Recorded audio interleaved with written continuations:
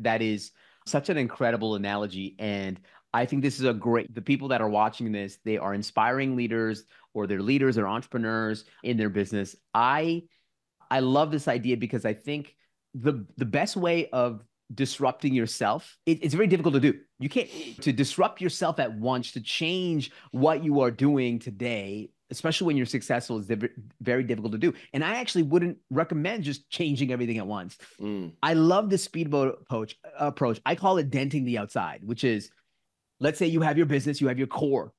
This is the value that you drive for your clients and your customers.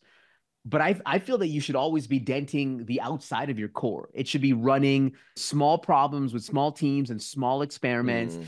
and trying to continuously um, innovate outside of the core of what you do. You might find a different way of running or doing your customer experience, or how you position your brand, or how you run your processes using new and novel technologies like artificial intelligence. And you're constantly experimenting outside of the core and you're building a muscle around innovation. That's what I believe. And then ultimately, if you find a winner, then you move that as part of the core of what you do but it's it, you shouldn't change everything at once because what what happens is the immune system of the company rejects it right? You can't change the cruise ship all at once because it's just gonna everyone is gonna push off push it off. And so i love this idea of continuously denting and building this muscle around innovation because that's how you're gonna go and continue to be relevant in the market